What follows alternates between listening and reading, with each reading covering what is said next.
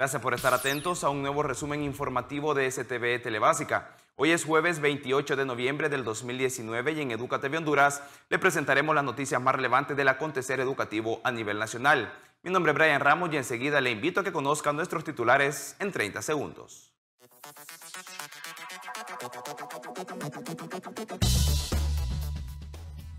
La Secretaría de Educación premió a tres estudiantes de diferentes departamentos del país por ejecutar acciones que apuntan a la transparencia.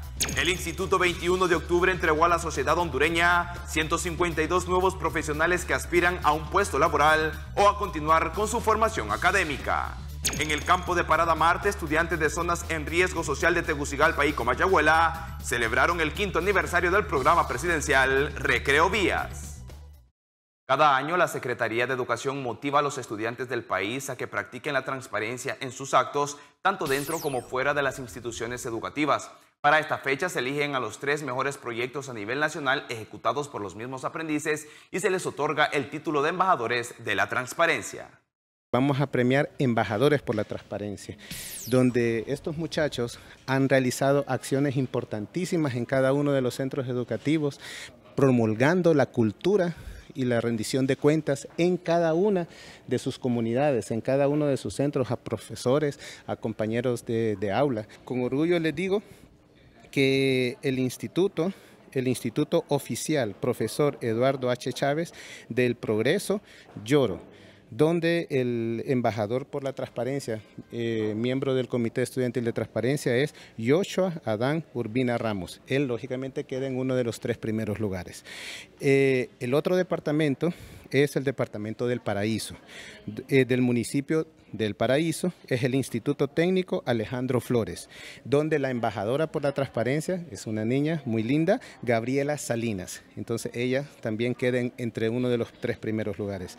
Y el tercer departamento es el Departamento de Atlántida, es La Ceiba, en el barrio eh, eh, Sierra Pino. Este es muy especial, no, o sea, no por, ¿por qué? Porque es un centro nocturno. Ojo con eso. Compitió con muchos centros educativos eh, diurnos y imagínense, quedó ganador en el departamento de Atlántida. Es el Instituto Oficial Nocturno Victoria Contreras, donde el embajador por la transparencia es Jaúl Flores. Con emociones encontradas por el galardón, los estudiantes electos nos expusieron cada uno de sus proyectos que impulsan a la juventud del país a ser íntegros y un ejemplo para la sociedad hondureña. Fuimos seleccionados por el Departamento de Orientación junto con el Departamento de Consejería y nos mencionaron eh, la, temática de transparencia y pues luego fuimos capacitados y luego fuimos capaces de capacitar a, los demás eh, haciendo pues charlas sobre transparencia en diferentes cursos, diferentes escuelas también del municipio y vacunando contra la corrupción. Comenzamos con las charlas. A las, todas las secciones recibieron ocho lecciones de un manual que se nos entregó de parte de, la Secretaría de Educación. Eh, con ese manual empezamos nosotros a trabajar, eh, pedimos capacitaciones para nuestros maestros, para que ellos pudieran enseñarles también en sus clases, dar un incentivo a los alumnos para que ellos pudieran alcanzar la transparencia y la ética. Nosotros desarrollamos las actividades, hicimos charlas, capacitaciones, eh, hacíamos dramas, murales y todos los trabajos lo hacíamos con, con, los maestros y los maestros nos dieron capacitaciones y nos fuimos informando cómo teníamos que ir trabajando, cómo trabajar con transparencia. Eh, los nombraron, también el instituto los nombró como embajador y formamos una directiva. A pesar de que en algún momento se puso en duda la realización de las graduaciones en el departamento de Francisco Morazán, hasta la fecha se ha entregado el título a más del 50% de los estudiantes que salen del nivel medio. Con base en esa premisa, a tempranas horas, la comunidad educativa del Instituto 21 de octubre celebró el cierre de año de 152 estudiantes, graduándoles como profesionales en diferentes áreas del conocimiento.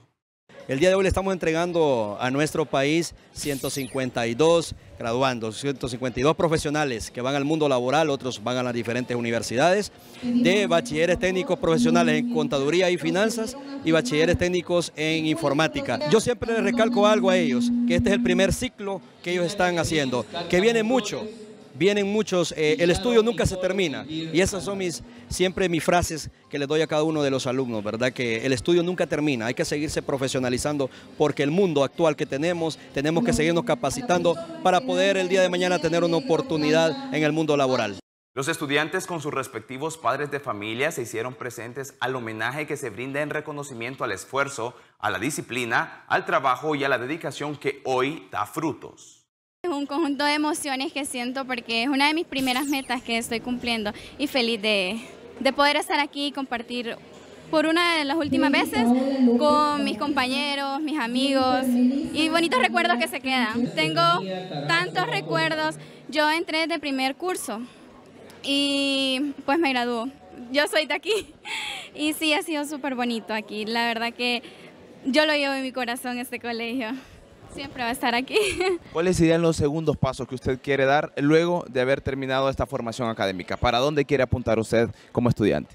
Para la universidad, tener mi título universitario y después una maestría, porque los estudios es lo básico, es lo primordial para una persona. Es un esfuerzo de verdad de todos, eh, maestros, padres de familia, alumnos, es una lucha constante, orientar a nuestros hijos en el buen camino, ¿verdad? Y qué mejor eh, que hacerlo estudiándolo eh, en diferentes procesos, ¿no? Primero pues primaria, secundaria, de ahí pues una carrera, la universidad, es algo bueno para la juventud. ¿En dónde visualiza a su hija luego de recibir este título que ya lo pone a soñar a uno? ¿Dónde la quiere ver? Bueno, a mi hija yo la visualizo como gerente de un banco, la visualizo como ministra, incluso en finanzas, ¿verdad? Porque es la área donde ella pues eh, se gradúa. Entre diversión y actos culturales, miles de estudiantes del Distrito Central se dieron cita en el campo de Parada Marte para celebrar el quinto aniversario del programa presidencial Recreo Vías. La propuesta de tener espacios abiertos constantemente en donde se incluye el deporte es una estrategia para alejar a la juventud de las drogas y la violencia de trabajar eh, no solamente en la protección, en el tema de seguridad, sino también en la prevención. Comenzamos eh, con esas actividades que nos han permitido que los niños vuelvan a salir a las calles a jugar, que lo hagan con alegría, que haya alguien que los esté eh, apoyando, que los esté guiando. Y eso ha ido sembrando poco a poco una cultura de paz y de sana diversión y de compartir con todas las familias. Así que mi agradecimiento a todos los voluntarios, más de 26 mil a nivel nacional. Desde la fundación de las recreovías allá por el 2014 se han visitado aldeas, caseríos y colonias consideradas conflictivas y los jóvenes de esta zona son el testigo vivo de la importancia de contar con parques que ofrecen actividades extracurriculares. Este programa es de los niños y niñas jóvenes y hay muchos adultos mayores que también asisten a este programa día a día, semana a semana. Es uno de los mejores programas de Latinoamérica.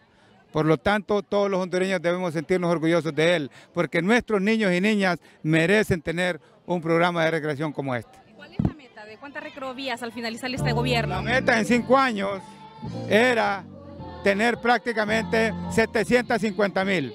Tenemos un millón. Hemos avanzado con un 40% más de recreovías y yo espero que la meta de 1.400.000 que hemos rediseñado al finalizar el gobierno del presidente Hernández esté concluida. 1.400.000 recrovías cuando termine. Con esta noticia cerramos nuestra agenda informativa de la jornada. Como es habitual, invitamos a que siga pendiente de la programación de STV Telebásica, en donde encontrará programas educativos, además de efemérides, cultura, arte y ciencia. Síganos en nuestras redes sociales y plataformas digitales. Actualmente estamos en Facebook, Instagram, Twitter y YouTube. A continuación, vea las proyecciones climatológicas para lo que resta del día. Hasta pronto.